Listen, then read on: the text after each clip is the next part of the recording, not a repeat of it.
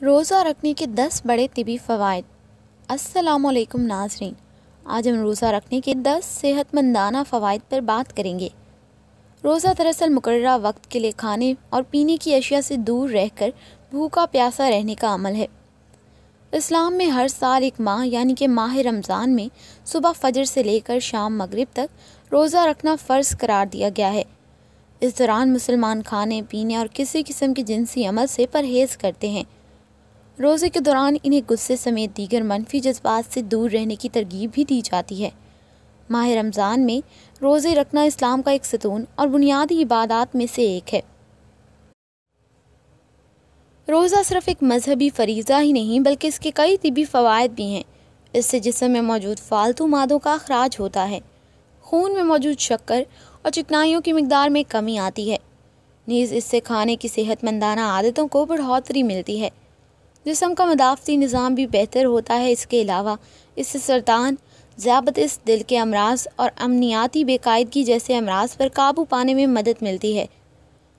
हती कि तहकीक से साबित हुआ है कि रोज़ा रखने से बढ़ती उम्र के असरात को भी ज़ायल किया जा सकता है और लंबी और तवील उम्र पाई जा सकती है।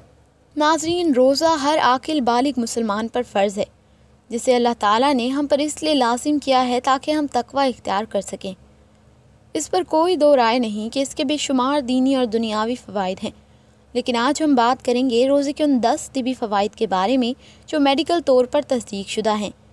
नासरीन, आगे बढ़ने से पहले हमारे चैनल को ज़रूर सब्सक्राइब कर लीजिए और घंटी वाला बटन दबाना मत भूलिएगा, ताकि आप हमारी आने वाली वीडियो से बर वक्त बाखबर रहें।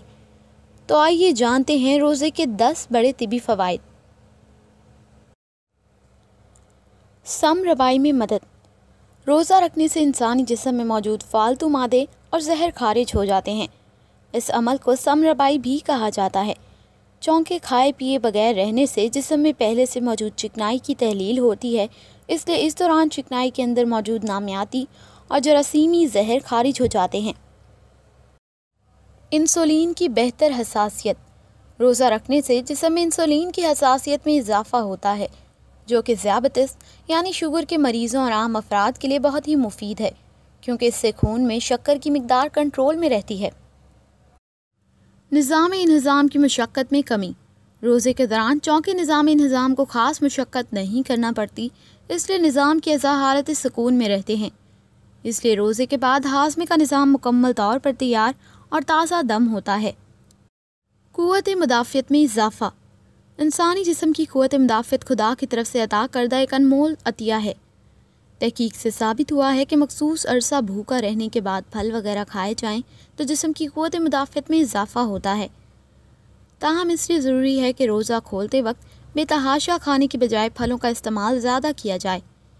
याद रहे वबा की सूरत में क़वत मुदाफ़ियत जिसे इम्यूनिटी भी कहा जाता है, बहुत फ़ायदेमंद साबित होती है। बुलंद फिशार खून पर अबूर रोज़ा रखने से किसी दवा के बगैर खून के दबाव को काबू में रखने में मावनत मिलती है। इससे फिशार खून यानी कि ब्लड प्रेशर अपनी नॉर्मल हालत में रहता है। बशर्त ये कि रोज़ा खोलने के बाद सेहतमंदाना खुराक को जिसम का हिस्सा बनाया जाए।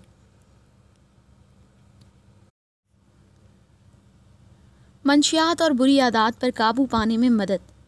रोज़े की मदद से इंसान बुरी आदात खसूस मंशियात की लत से जान छुड़ा सकता है। रोज़ा इंसानी जिसम में निकोटीन, अल्कोहल और कैफ़ीन के असरात को ज़ायल करता है। वज़न में कमी। खाने पीने में कमी की वजह से वज़न में कमी आती है। इससे जिसम में मौजूद चिकनाइयाँ भी कम होती हैं। बहरहाल, रोज़े को वज़न की कमी के लिए ज़्यादा मौसू नहीं करार दिया जा सकता। इसलिए आपको चिकनाई पर मुश्तमिल गज़ाओं का इस्तेमाल कम और सब्ज़ियों, फलों वगैरह का इस्तेमाल बढ़ाना होगा। जल्दी अमराज में कमी। तहकीक से साबित हुआ है कि रोज़े से जल्दी अमराज और एलर्जी वगैरह में कमी आती है। बल्कि बाज़ तबीब तो यहाँ तक करार देते हैं कि रोज़ा कई जल्दी अमराज के लिए शिफा का काम देता है। सेहतमंदाना डाइट का फ़रोग। रोज़ा सेहतमंदाना डाइट और मुतवाजन खुराक को अपनाने में मदद फ्राहम करता है। अगर आप रोज़े से हों तो प्रोसेस शुदा बाजारी खानों के बजाय घरेलू और कुदरती गज़ाई अज्जा के इस्तेमाल की तहरीक मिलती है, जिससे आप बसानी डाइट को भी जारी रख सकते हैं। जल्द और आँखों को रोशन और शादाब बनाने में मदद।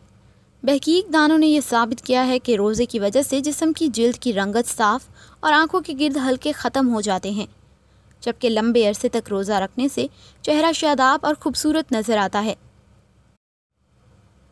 तो नाजरीन, ये थे रोज़े के दस बड़े तबी फ़वाद जो साइंसी तौर पर तस्दीक शुदा हैं। हमें उम्मीद है कि आपको आज की वीडियो ज़रूर पसंद आई होगी।